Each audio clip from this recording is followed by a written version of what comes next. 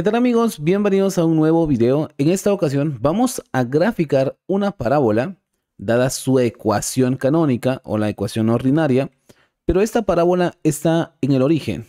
Y ahora explico por qué sabemos que está en el origen o tiene el vértice en el origen.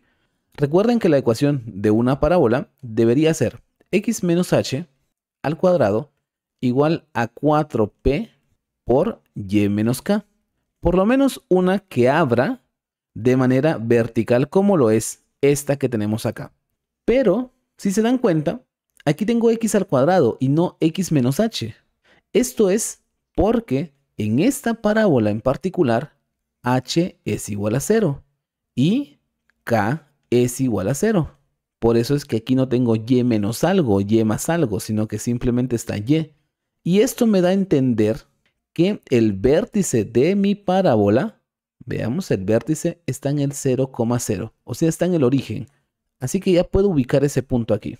Y eso solamente viendo la ecuación. Como está muy sencilla, entonces es porque el vértice está en el origen.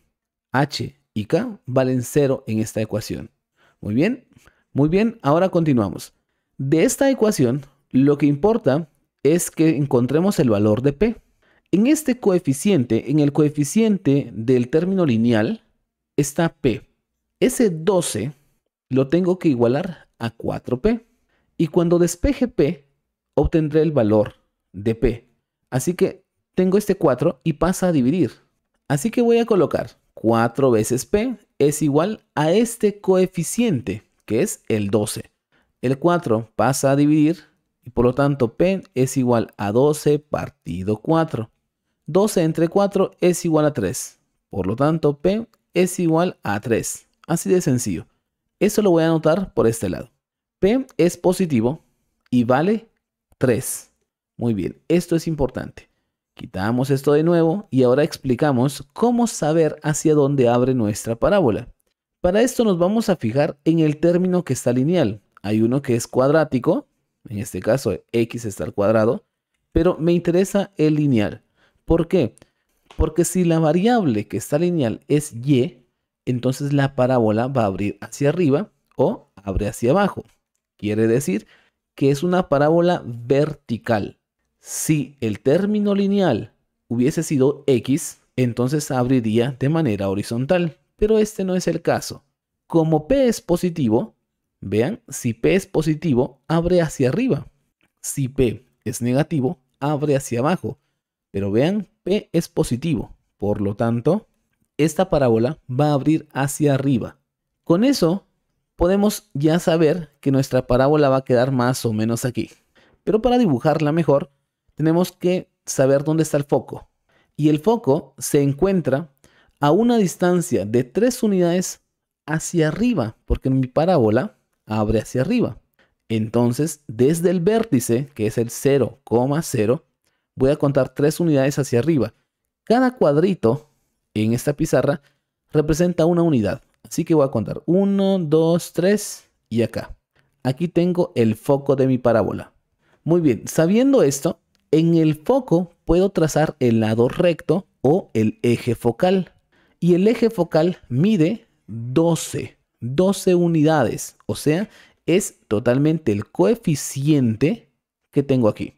Pero aquí tengo el inconveniente, si se dan cuenta, de que mi plano cartesiano es muy pequeño, porque tengo que aquí tener 12 unidades como eje, 6 de cada lado. Y aquí, por ejemplo, cuento 1, 2, 3, 4, 5, 6, llegaría a este punto. Y si cuento 6 aquí, tengo 1, 2, 3, 4, 5, 6 a este otro. La parábola va a quedar muy abierta. Y para esto, muchas veces en un plano cartesiano se puede utilizar una escala y al utilizar la escala, pues ya nos queda más pequeña nuestra parábola. De momento, vamos a graficarla así. Nuestra parábola entonces va desde el vértice y debería de abrir hasta pasar por estos puntos y luego continuar. De este lado, en el lado izquierdo, también pasa lo mismo, debería ir por acá y pasa por este punto.